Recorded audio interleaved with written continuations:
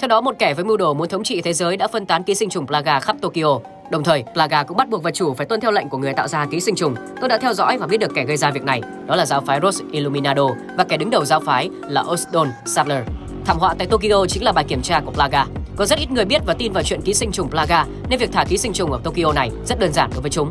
Theo lời cô gái, Plaga được tiến hành nghiên cứu ở Nhật, thế nên ký sinh trùng mới phát tán ở đây. Chúng đã thuê những nhà khoa học nổi tiếng ở Nhật để nghiên cứu các loài ký sinh trùng mới và cha của cô gái cũng là một người được thuê. Sau một khoảng thời gian nghiên cứu, cha cô đã phát hiện một sự thật khủng khiếp rằng chẳng có cách nào để loại bỏ Plaga khỏi cơ thể người, nó sẽ làm đứt dây thần kinh và hoàn toàn điều khiển người bị nhiễm Plaga. Bất lực vì không thể cản được chúng, cuối cùng ông đã tự tử bằng cách đâm con dao vào ngực mình. Dựa vào những thứ để lại của cha, cô gái đã đến ngôi trường này vì nó liên quan đến giáo phái. Nhưng một nữ sinh như cô ấy cũng không thể làm gì được để ngăn cản thảm họa này. Cô gái giới thiệu tên mình là Sasuka và quyết định gia nhập nhóm của Nobita